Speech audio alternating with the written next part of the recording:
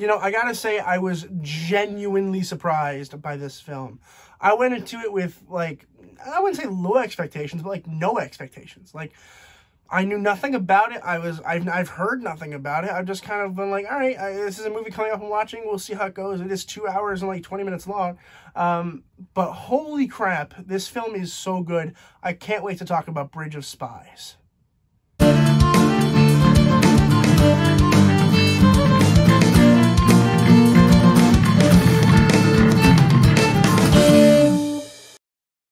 Of Spies was released in 2015. It was written by Matt Charman and Ethan Coen and Joel Coen, and directed, of course, by Steven Spielberg.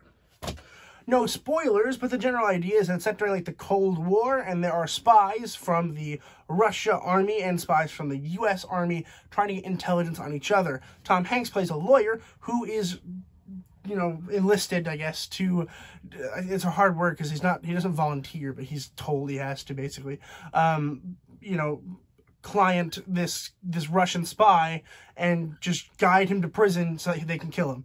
Um, but he has to look like he's doing a good job. But then Tom Hanks discovers he doesn't hate the guy. He kind of likes him. He seems like a good guy. He has a family, and he tries to help him.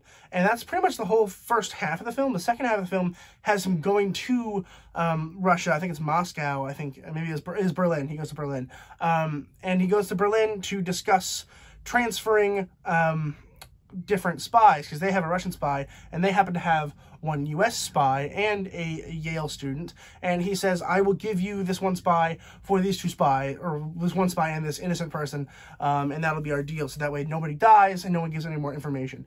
Um, and uh, I was really shocked at how much I like this film from the very beginning. Um, Mark Rylance, is that his name? Uh, Yes. Holy crap, what a performance. Um, Mark Rylance is incredible. I think he won an Oscar for this, and, and good for him, because it's, it's incredible.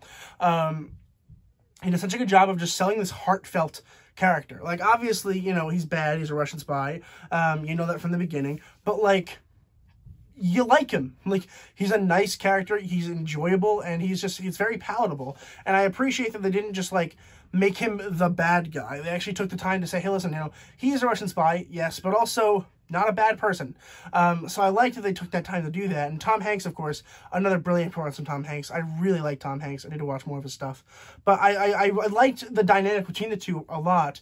And that's, that's, that's the first half of the movie, really. It's just him talking to Mark Rylance. And it's really, really well done. It's well paced, too. There's a lot of action that isn't really, like, action. Like there's this moment where um, they shoot up the lawyer's house, and I'm like freaking out. I'm like, oh my god, is somebody gonna die? Uh, and it's not really like an action sequence, more so that it's just like a dramatic moment that I really liked. And I, it happens periodically throughout the film where there's just like this moment of intense violence almost. Like there's this be beautiful shot uh, at the Berlin Wall. He's on a train. Tom Hanks is on a train driving towards the, you know around the wall and he sees some people trying to escape over the wall and they get shot down and it's beautiful. Like i mean it's awful but like just like the then showing the reaction shot of tom hanks showing the the, the, the violence then showing the reaction shot of tom hanks.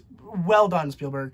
You got me. Well done. I cried. And then at the end he brings it back in this really awesome parallel kind of way and it blew my mind. Oh my goodness.